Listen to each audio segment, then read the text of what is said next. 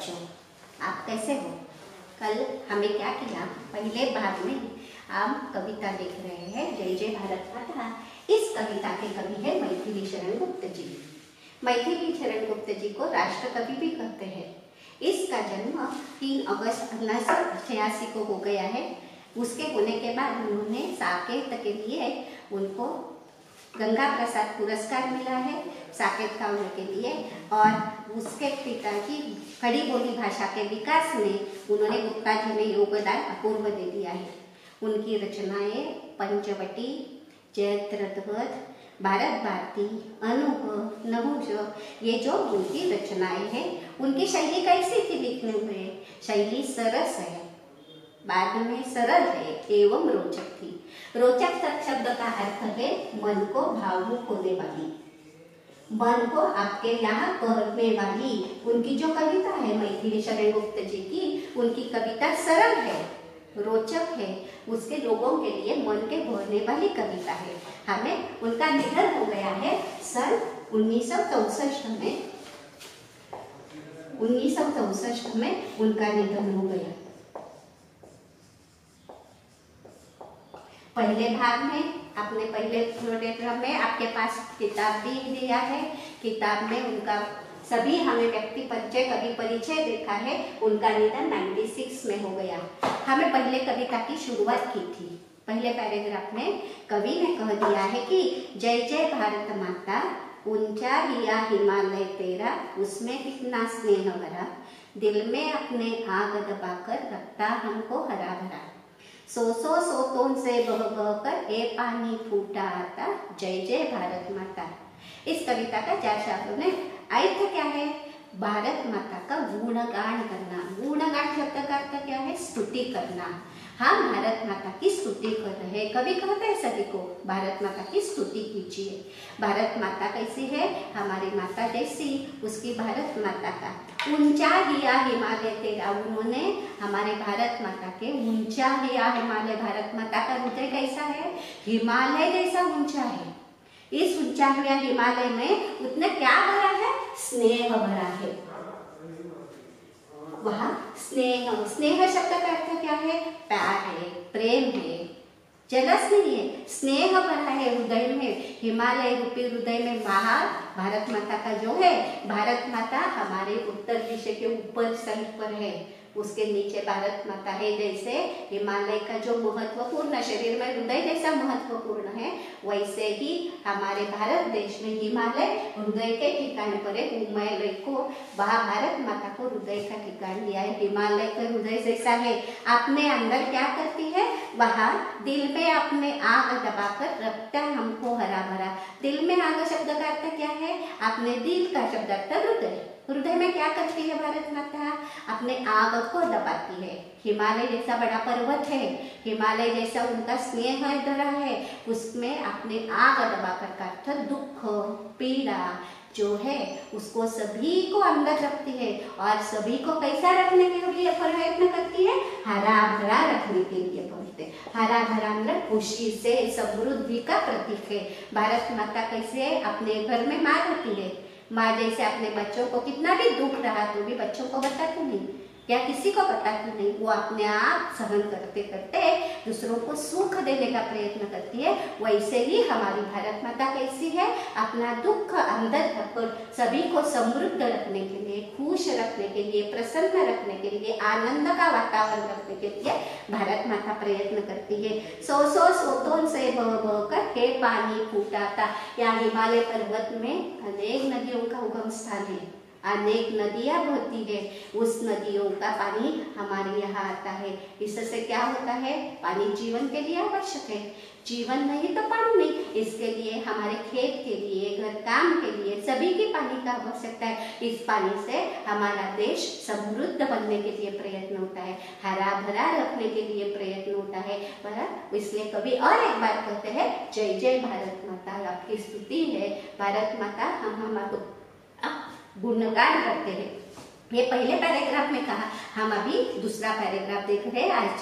कमल खिले तेरे पानी में, धरती पर है आम फले। इस धानी आंचल में देखो कितने सुंदर भाव फले। भाई भाई मिल रहे सदा ही, टूटे कभी न माता।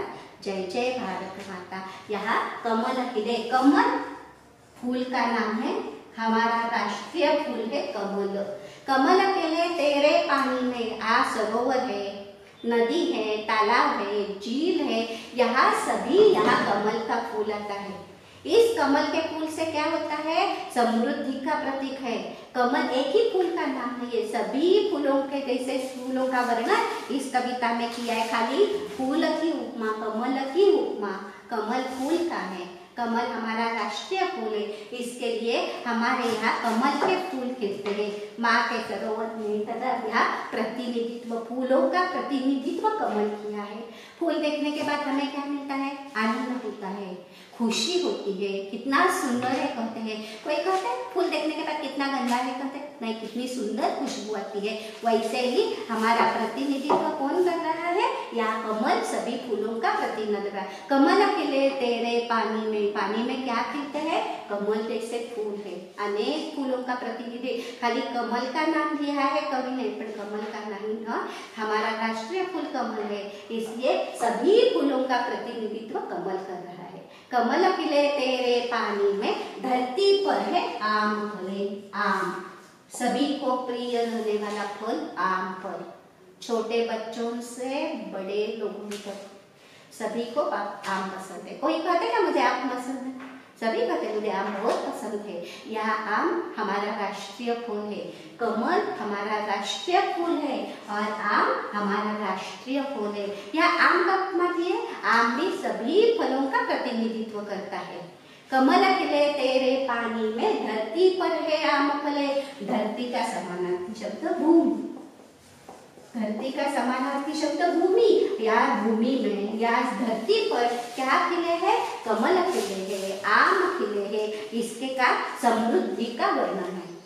हमारे यहाँ समृद्धि होना चाहिए। समृद्धि के लिए धरती पर यह उगे है धानी आंचल में देखो, किंधारे भरे आंचल में क्या है? सुंदर सुंदर भाव पले भाव पले का तो यह सुंदर है सभी, निसर्ग सौंदर्य देखने के लिए। यहाँ हरा भरा निसर्ग है, सुंदर फूल है, खाने के लिए फल मिलते हैं। हमारी धरती कैसे? हरी भरी है। आंचल धानी में, आंचल शब्द का अर्थ क्या है? पल्लू। साड़ी का पल्लू जो रहता है, उसको आश्रम कहते हैं। पल्ला इसमें धरती माँ ने भारत माता ने अपना पल्लू सभी भारत देश में घुमाया है। अपने धरती पर घुमा। इससे क्या होता है? सभी हरा भरा देखने के लिए मिलता है। भाई भाई मिल रहे, सदा ही टूटे, कभी न हटा। सदा शब्द का अर्थ हमेशा। यहाँ सदा शब्द क्या अर्थ है? हमेशा। यहाँ लोग भाई भाई यहाँ हमारे भारत देश में हिंदू, मुस्लिम, सिख, ईसाई, जैन, सभी जाति वाले लोग रहते हैं। पर सभी लोग कैसे रहते हैं? भाई भाई मिलकर रहते हैं। एक दूसरे से भाई करता जैसे अपने अपने घर में भाई रहता है। एक दूसरे से दुश्मन नहीं है, अपने अपने भाई भाई के रूप में रहते हैं। इस भाई भाई क्या करते हैं? ही अभी कवटे नाता टूटना उसको नाता नाता का शब्द अर्थ संबंध। नाता का अर्थ है संबंध और रिश्ता जो कहते हैं। हमारा रिश्ता कैसा है? भाई भाई का है। एक भाई दूसरे भाई से कैसे प्रेम से, प्यार से देखते हैं, वैसे ही कोई हमारे यहाँ जो लोग हैं, जो भारत में भारतवासी लोग हैं, वो सभी कैसे हैं? भाई भाई है। उनका नाता कैसा है? एक दूसरे से मिलजुल कर, एक दूसरे से प्रार्थना करते हैं, एक दूसरे से रहते हैं, एक दूसरे से अपना दुख दूसरों को बताते हैं, दूसरों का सुख आप लेते हैं। ऐसे अपने अपने संबंध में भाई भाई के रूप में रहते हैं वो किसी का नुकसान या किसी का कंटा नहीं करते, किसी से साथ दुश्मनी नहीं करते। वो कैसे रहने के लिए कहा है? भाई भाई के रूप में रहने के लिए कहा है। उसका रिश्ता कैसा चाहिए? नाता संबंध? भाई भट्ट रहना चाहिए। समूह कैसे रहने के लिए इस कविता में इस प्रेम में स्नेह का भाव रहना चाहिए, प्रेम रहना चाहिए। भाई भाई में प्रेम की भावना रहना चाहिए, स्नेह की भावना रहना चाहिए, उनका नाता संबंध से रहना चाहिए। इस कविता के दूसरे पैराग्राफ में क्या कहा है? समृद्धि का वर्णन किया है। हमें दूसरा पैराग्राफ देखा, कमल खिले तेरे पानी में, धरती पर है आम फले। इस धानी आंचल में देखो, कितने सुंदर भाव पले इसका दूसरा का तौर का अर्थ, भारत माते का समृद्धि का वर्णन किया है। इसमें पानी, कमल खिलते हैं पानी में। आम जैसे फल है और हमें हरा भरा रखने के लिए समृद्धि है। भारत देश में इस बार भाई कैसे रहते हैं? सभी लोग मिलकर मिलजुल कर एक दूसरे से मिलजुल कर रहते हैं। आनंद से रहने के लिए प्रयत्न करते हैं। इसके दूसरे पैराग्राफ में कहा है। अभी जो तीसरा पैराग्राफ है, यह तीसरा पैराग्राफ में चंद्र सूर्य काल रहे। चंद्र सूर्य चिरकाल रहे? तेरी लाल दिशा है से ही माँ चंद्र सूर्य चिरकाल रहे तेरे पावन अंगन में अंधकार हटे और ज्ञान मिले मिलजुल कर ही हम सब गाए तेरे यश की गाथा जय जय भारत माता आप लोगों को देखा सूर्य पूर्व दिशा से उगता है उस पूरब दिशा के सूर्य आने से पहले दिशा कैसे रहती है लाल दिशा रहती है लाल दिशा रंब कलरिंद वो दिशा लाल है ये लाल दिशा चारों ओर लाल लाल देखने के लिए। चंद्र, सूर्य, चिरकाल रहे आपने देखा? चंद्र और सूर्य। चंद्र, सूर्य, जब तक चीरकाल शब्द का अर्थ कायम शाश्वत रूपी। हमारे सूर्य उगते समय हमारा भारत देश कैसा रहना चाहिए? उज्जवल रहना चाहिए। उसका विकास उसकी प्रगति, उसकी यानी प्रगति का प्रतीक माना है। लाल दिशा, चंद्र, सूर्य किसका है? प्रतीक है उगवती प्रतीक का है। प्रगति का प्रतीक है। और इस कविता में हमें प्रगति कैसी होनी चाहिए? हमें प्रगति होनी चाहिए। अंधकार को हटाना चाहिए। जैसे चंद्र सूर्य हमें प्रगति का है, वैसे ही हमारी भारत माता के हम प्रगति करेंगे, विकास करेंगे, उसको आदर्श बनाने के लिए, उसका गुणगान करने के लिए, सभी यहाँ उनका विकास करने के लिए हमें प्रयत्न करना चाहिए। तेरी अंधकार हटे, तेरे पावन अंगन पावन पवित्र। पावन शब्द का अर्थ पवित्र।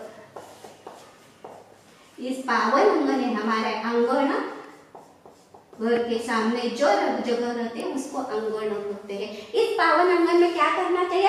इस पवित्र अंगन पर हमें अंधकार को हटाना चाहिए। जैसे सूर्य हमें आने के बाद नई आशा दिखाता है, नया विकास दिखाता है, वैसे ही उस तरह हमें चंद्र सूर्य जब तक है, तब तक हम क्या करेंगे? अपना पवित्र हमारा भारत माता की गुण गान स्तुति करने का, उसका नाम रोशन करने के लिए प्रयत्न करेंगे। अंधकार को हटाएँगे। अंधकार को हटाना जो हमारे यहाँ दुश्मनी है उस दुश्मनी को हम नाश करेंगे, नष्ट करेंगे, हम एक दूसरे से भाई भाई मिलकर रहेंगे। हमसे इसके लिए अंधकार हटाने के लिए हमें क्या करना चाहिए? और ज्ञान के ओर से ज्ञान की ओर बढ़ना चाहिए। ज्ञान पढ़े लिखे जो रहते हैं, ज्ञान का उपयोग करना चाहिए। सभी को ज्ञान है। अज्ञान जो पढ़े लिखे नहीं, जिसके पास ज्ञान नहीं, उसको अज्ञान है। हमें क्या करना चाहिए? अंधकार को हटाना चाहिए। अंधकार अंधेरा। समानार्थी शब्द कहता है अंधेरा का है। उस अंधेरे को हमें क्या करना चाहिए? नष्ट करना चाहिए। नष्ट करने के लिए क्या करना चाहिए? हमें प्रकाश की ओर, प्रगति की ओर जाने के लिए प्रयत्न करना चाहिए। जब तक चंद्र और सूर्य है, सूर्य रहता है, वह चंद्र भी रहता है। सूर्य के प्रकाश से हमें नहीं दिखाई देता। वैसे ही चंद्र सूर्य चिरकाल है। कायम स्वरूपी है। वैसे ही हम हमारे प्रगति कायम स्वरूपी भारत माता का नाम प्रगति के ऊपर करने के लिए प्रयत्न करेंगे। अभी ते मिल जुल कर ही हम सब गाए, तेरे यश की गाथा। यश शब्द का कीर्ति है। हम क्या करेंगे? उसकी कीर्ति करेंगे। कीर्ति हम स्तुति करेंगे। भारत माता की हम स्तुति करेंगे। उसका विकास करने के लिए हम प्रयत्न करेंगे। इस देश कीर्ति के सभी गाथा का अर्थ कथा। गाथा शब्द का अर्थ क्या है? कथा। हम क्या करेंगे? भारत माता की कथा करेंगे, गुणगान गाएँगे, प्रगति के ऊपर भारत माता को लेकर जाकर उसका नाम रोशन करने के लिए प्रयत्न करेंगे। हम मिलजुल कर हम सब क्या करने वाले हैं? भारत माता की कथा गाने वाले, उसकी स्तुति करने वाले, उसका आनंद व वातावरण बनने के लिए प्रयत्न करें। जय जय भारत माता। इस कविता में कवि ने कह दिया है, कवि कौन है कविता के? मैथिली शरण गुप्त मैथिली शरण गुप्त जी ने सभी भारतवासियों के लिए प्रार्थना की है। क्या प्रार्थना की है? हमारे भारतवासियों ने में मिलजुल कर रहना चाहिए। भारत माता का गुणगान करना चाहिए। भारत माता की स्तुति करना चाहिए। भारत माता को प्रगति के ऊपर लेकर जाने के लिए कहा है। जैसे चंद्र सूर्य चिरकाल है, वैसे ही भारत माता का यश चंद्र सूर्य जैसे ही कायम स्वरूपी प्रगति के पथ पर लेने के लिए विनंती की है सभी भारतवासियों के लिए। एक बार मैं कविता पढ़ती हूँ। कविता, जय जय भारत माता। मैथिली शरण गुप्त जय जय भारत माता। ऊँचा हिया हिमालय तेरा, उसमें कितना स्नेह भरा। दिल में अपने आग दबाकर रखता हमको हरा भरा। सो सो सोतों से बह बह कर हे पानी फूटा आता। जय जय भारत माता। कमल खिले तेरे पानी में, धरती पर है आम पले। इस धामी आंचल में देखो, कितने सुंदर भाव पले भाई भाई मिल रहे सदा ही, टूटे कभी ना नाता, जय जय भारत माता। तेरी लाल दिशा में ही माँ, चंद्र सूर्य चिरकाल रहे। तेरे पावन अंगन में अंधकार हटे और ज्ञान मिले। मिलजुल कर ही हम सब गाए, तेरे यश की गाता जय जय भारत माता। धन्यवाद।